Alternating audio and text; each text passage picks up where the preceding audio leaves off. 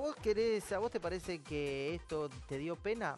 ¿Querés alegrarte y Sí, ver, por ejemplo, Por favor. lo que le regalaron a un deportista muy famoso? Una Ferrari. Pero es igual, una Ferrari, la verdad que regalan mucho. Ah, la le verdad regalaron a Menem una, Total. ¿se acuerdan? Es cierto, por ejemplo. Pero esta es, Perdón que sé que están desayunando, pero me acordé. esta es, hablando de lo de Pascua, a esto es, eh, es una Ferrari de oro.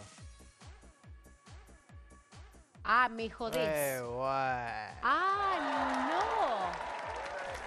Ah, no puedo Qué creer lo que va. es eso. Qué barbaridad, mira lo que es Está eh, La gente se para a oro, verla, Enchapada mirá. en oro. Bañada en oro. Na, na, na, ¿Qué? ¿Cómo una na, grasada? Pero Dios mío, no. como una grasada, no me digas eso. No, ¿Quién está negra? Por favor. Qué una barbaridad. grasada le puse. Mirá lo que es eso.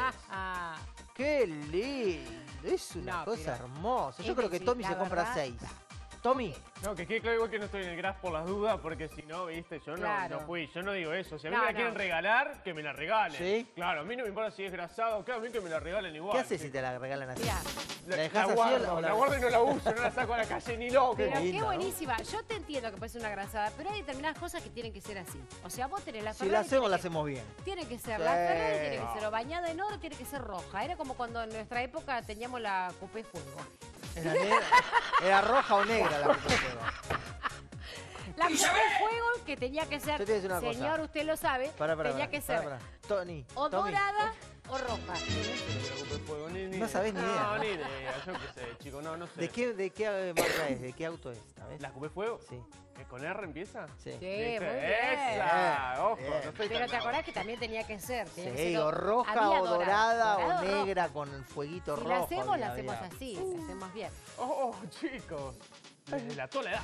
A todos. Mató. ¿Todo bien? Bien, qué placer verlos de vuelta, ¿eh? Cada estás? mañana estoy más alegre de ver. Tommy Reynolds. Bien, muy bien, chicos, gracias. Gracias por, la, por la bienvenida. Muy Podemos de pedirle a Tommy que no, no, no Reynolds. te, no te noto falso. No ¿Por me qué? gusta. Siempre me tirás abajo, escuchame. Bueno, Mirá lo que te pusieron. no, eh, no soy mentiroso, yo no lo soy, chicos. Yo soy así, soy, soy real. ¿Querés que te cuente una cosita? A ver. vos, a vos, No me apuntes. a vos, Sí. a vos. Ahí está. No, pues te cuento una cosa que hizo tu amiga Mariel Leonardo. No, ah, eso íbamos a contar. No, dale. No, pues le quiero contar a Hernán porque no, no lo quise contar antes de. na- nadie lo sabe esto. Esto es Claro. exclusivo. Igual lo están viendo en la los casa. Y televidentes. decirle que a los televidentes también se lo Claro. Y a los televidentes, dice- nuestros fieles que se acompañan. ¿Te lo cuento? Parece Ajá. interesante. Ayer rápidamente me manda un mensaje preguntándome en mi Twitter. Y yo le paso mi Twitter que tengo oh, cuántos seguidores. O sea, Bueno, Twitter. Claro. Twitter. ¿Y? Eh, porque había un seguidor que le escribió a ella preguntándole por mi Twitter personal. Bueno, hasta ahí todo bien, se lo pasa, la señorita se lo pasa, claro que sí. Cuando yo empiezo... Pará, patán. Sí, patán. Cuando yo Diego empiezo se a ver- ríe. No, no, es increíble. Así se reía ayer. Cuando yo empiezo a ver las fotos de, ese, de esa cuenta de Twitter, digo, ¿qué me mandaste, Mariel de No, Lenarda? vamos a mi versión. El eh, La televidente le mandamos un saludo. Besito. Arroba Javier, leo yo, dice, No hola diga. Mariel, me escribe a mi Twitter personal, arroba M de Leonarda, y me pone, eh, qué lindo programa que hacen, qué sé yo, les mando un beso. Eh, Tommy Reynolds, ¿tiene Twitter? ¿Me lo pasás? Entonces yo averiguo el Twitter, se lo paso. Lo que yo no vi es que en el nick decía alto sexo. Claro, el nick era, o sea, el Twitter enamoró era de vos. alto sexo. Y las fotos, chicos, No, poquito subida de No, tono. no, Pero, no se escúchame. pueden pasar. ¿Qué? ¿Se enamoró de vos el.? No, No sé, no se pueden pasar porque son irreproducibles. Pero yo no había visto nada. No hagas así, No, además. No, no. Son irreproducibles. Irreproducibles. No hagas más así. Terrible, no. Yo le dije, bueno, lo Asquerosa. bloqueamos por- porque yo no, no vi que era, ¿entendés? ¿Mm? Asquerosa. le mandamos un saludo, Sí, no lo besito. bloqueamos. no Javier, portate bien, por Javier, favor. por favor. Sí. ¿Eh? Alto sexo, ya con el nick. Bueno, Ahí eh, está. No sé para qué. No tires. hace un ratito tuiteó justamente Lorena Maciel que su mamá, Sí. Lorena Maciel, compañera de TN, que Sí. su mamá re- eh, tuvo, sufrió un secuestro virtual, que por suerte se dio cuenta y no pasó nada. Pero ¿También le pasó a Coca Calabro esto? Y afortunadamente tampoco pasó nada, porque la Coca calabró, la llamaron por teléfono a las 3 de la madrugada y le dijeron que su hija Marina había sido secuestrada. Finalmente, gracias a Dios, no pasó nada porque la Coca calabró pasó datos falsos de dónde iba a dar esta... Le pedían joyas y dinero, ella dio datos falsos de dónde se iba a encontrar con el ladrón y finalmente no pasó nada. Eh, obviamente ella, al enterarse de que habían secuestrado a su hija Marina, la llamó por teléfono, pero ella duerme con el celular en silencio, como hacemos la mayoría, Ajá. y es por eso que no se pudo comunicar. La llamó a la casa al teléfono de línea y afortunadamente Marina atendió y la Coca se tranquilizó porque obviamente eh, se dio cuenta que Marina Calabro estaba segura en su casa. Eso Pero bueno, bueno. es otro de los casos, como Hernán recién mencionaba el de Lorena Maciel, otro de los casos de este secuestro virtual que sucede y que también le pasa a los famosos. ¿eh? Claro, claro. Bueno, vos fijate, ¿no? ¿Sabrían igualmente que era la coca? Yo- para mí fue al azar, pues no creo que una, una persona llame Yo, ¿sabés a lo que me Calabró pasó? teniendo dos hijas públicas. En mi casa, un día a las 6 de la tarde, yo en la casa de mi viejo, no, yo de casualidad, la verdad que no voy a las 6 de la tarde, pero un día tenía libre a la tarde, Mm. fui para allá y lo llamaban en ese momento. Su hijo chocó eh, y yo estaba ahí. De casualidad. Bueno. Si yo no estaba, se lo creía. Menos mal, si no, pobre. De casualidad claro. absoluta. Te- y te agarran en momentos desprevenidos. Sí. Ahora lo hacen mucho a las 3, 4, 5 de la mañana, que vos estás Exacto. dormido, te Dormido. despertás, escuchás una voz, crees lo que te dicen por lo general es, eras vos hablando. Y dices, no, yo no era. Y se escuchó Y en este así. caso una voz de fondo de una mujer gritando, diciéndole, mamá, dale esto porque me matan. Obviamente claro. no era ella, pero, se hace toda este te- esta historia para que la gente crea que es verdad. Ayer lo contamos con el rector de La Matanza. ¿Se Claro. acuerdan que también le, También le dice, pasó él, eso. él aseguraba que era la voz de la hija. Lo que pasa es que a esa hora, 3 de la mañana, 4 de la mañana, estás con los sentidos medio dormidos, que te dice alguien mamá, mamá, y vos crees que es tu hija o tu, tu hijo, lo que sea. Exacto. Aprovechan eso, por lo general, además, eh, apuntan que sea ese horario, ahora ya no es más a la tarde, al mediodía, sino que apuntan que sea en ese horario que te agarra más desprevenido. Y a esa hora también es muy difícil para vos llamar a tu hijo, porque por lo general lo que tenés es en silencio o apagado. Entonces, ¿cómo llamás? Si no tenés un teléfono de línea, no tenés. ¿Qué, ¿Está el audio, decís, para, para ver lo que decía Marina Calabró explicando toda esta situación? ¿Te parece, Dale, escuchémoslo. Una situación horrible. Fue a las 3 de la mañana, suena el teléfono, una voz masculina le dice a mi mamá, tenemos a tu hija, danos todo lo que tengas, danos plata, dólares, joyas, si no la vamos a matar. Detrás de esta voz masculina hay una voz femenina que eh, gritaba, simulando una crisis de llanto, mamá, dales todo, dales todo, me matan, me matan. Obviamente mi mamá se paralizó. Ahí le empezaron a dar algunos datos vinculados a la estructura familiar que, que voy a omitir para, para no involucrar a terceras personas, pero, pero bueno, le daban algunos datos que podían dar la pauta de que ellos sabían de qué iba nuestra familia, ¿no? Quiénes más formaban parte de la familia, cómo estaba estructurada. Y obviamente a mamá se le confunden las cosas porque estaba en shock. Imagínate que a las 3 de la mañana una voz te diga con convicción tenemos a tu hija y la vamos a matar si no nos das todo lo que tengas. ¿Le hablaban de una hija de, de vos o de Iliana o simplemente una Ella hija? lo que dice es que siempre lo asoció conmigo porque había hablado con Iliana pasadas las 10 de la noche, porque, bueno, además ella sabe que Iliana tiene su familia estructurada, su marido, Claro. sus hijos, eh, la persona que, que la asiste, es decir, eh, no vive sola y, y ella sabe que yo vivo sola con mi hija y que eh, quizá ese día... lo que ella imaginó en ese momento de confusión, me había ido con Martín, con mi novio, o estaba yendo, o estaba volviendo, es decir, eh, No tengo sabía más ciencia quizá movilidad. eh, y además sabía dónde estaba Ileana y no sabía dónde estaba yo porque habíamos hablado a la tarde pero no a la noche. Entonces ella lo que me dice, yo asocié con vos en ese momento. Y además por otros datos que, que le iban entredando y sonsacando, ¿no? Porque es un mecanismo. Parece que te cuentan, pero en realidad te sacan información.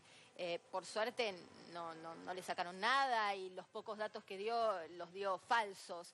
Pero eh, más allá de eso, eh, pasó un momento espantoso. Encima, con la buena y mala suerte, porque la mala suerte es que yo tengo el celular en silencio a la noche, entonces ella atina a llamarme. De hecho, tengo el mensaje todavía de ella en, crisis de, de llanto, diciéndome, hija, me dicen que te tienen secuestrada y que te van a matar. Eh, pero dentro de todo tuvimos la buena suerte de que el teléfono inalámbrico de mi casa está enchufado en el living. Tengo uno solo de línea, eh, o que responde a la línea fija, y que en general está en el living, pero había venido el pintor, entonces la persona que trabaja en mi casa lo había pasado a mi mesa de luz.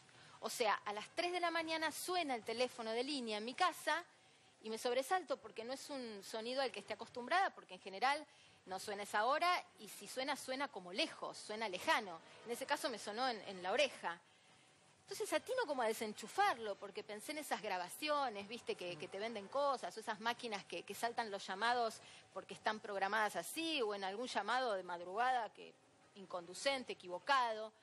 Pero cuando desenchufo el teléfono de línea, miro el celular y veo llamadas perdidas de coca. A esa hora me asusto y la llamo. Y bueno, obviamente la encuentro en una crisis de nervios, diciéndome, hija, me dijeron que te iban a matar, que te tenían secuestrada. eh, y- pero te quiero decir, Sí. la llamé de casualidad, porque si yo tenía el teléfono de línea en el living y el No celular en silencio, claro. no la atendía nunca. Eh, tengo entendido que, que la persona que la llamó a mi mamá la iba a volver a llamar. No entendí muy bien la circunstancia en la que le corta. Igual el modus operandi se te llaman a...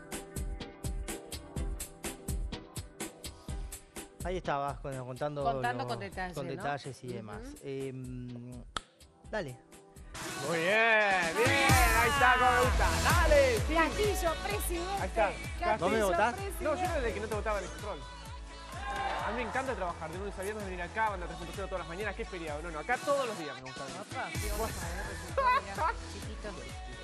es divertido. Pero bueno, muy bien que lo hacía Hernán. Ustedes vieron qué, qué, qué acting que puso. Dale, bueno, estamos hablando de Mariano Yudica, porque ayer estuvo en Intrusos, era el testimonio más buscado y estuvo. Habló de su salida de Ideas del Sur y Uh. su pase a Endemol. ¿Quieres Oh, escucharlo? sí. Mírenlo. make a beautiful world. Take my hand, it's alright. Cause tonight we can fly. Dale. Dale. Dale a hablar.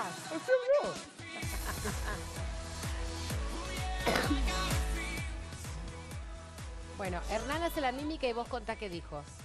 Bueno, eh, así habló, ¿eh? Porque Sí. así habló. Bueno, no, lo que dijo básicamente es que se fue de Ideas del Sur porque Endemol le ofrecía, obviamente, una suma mucho más grande, que le daba otras oportunidades de crecer, porque en Ideas del Sur ya había tocado su techo. Obviamente no puede ir más arriba que Marcelo Tinelli, porque es obviamente el presidente de la productora. Así que es por eso que Mariano Yudica se fue a Endemol con varios proyectos, porque no solamente va a estar con sus programas propios, sino que también va a eh, participar de la parte más creativa. De los distintos productos que tienen Endemol. También se siente un poco dolido con las declaraciones que tuvieron varios de los productores y también compañeros de la productora cuando lo llamaron traidor. Él dice que no es traidor, sino que obviamente él va eligiendo su camino. Él es un conductor ya hecho y derecho, que tiene mucha repercusión eh, y espalda, y es por eso que eh, tomó la decisión de irse y no lo toma como una traición. Para ustedes, ¿es traición o no es traición?